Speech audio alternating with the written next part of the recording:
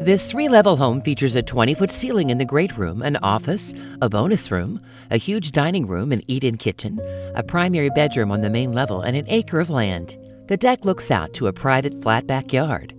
The basement features a full bathroom, boat door access, and the ultimate cave. Want to turn this house into a home?